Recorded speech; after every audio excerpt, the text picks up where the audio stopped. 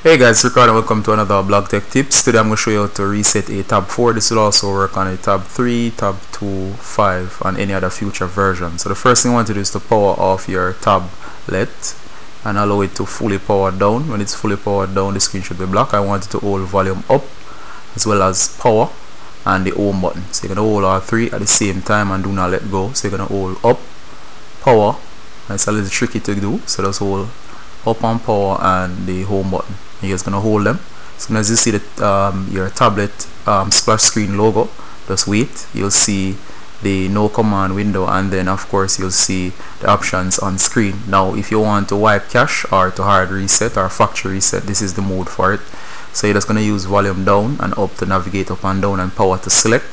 Now I don't want to do it with this device. I'm just demonstrating so you're gonna move down um, the camera just need the camera to focus. So you're gonna um, go down to wipe cache partition just press power and then select yes and it will wipe your device. Um, and this will be anything that's stored on the device. If you want to wipe cache just select wipe cache partition press power for yes and allow it to um, wipe and then hit um, reboot when everything is wiped and you have gotten the confirmation that is wiped. So this has been how to wipe the tab 4 or tab 3 or tab 2 or any version of the Samsung Galaxy Tab. This is your host Ricardo from Blog Tech Tips and just please like this video. And please stay tuned until next time. We will have more tech tips just for you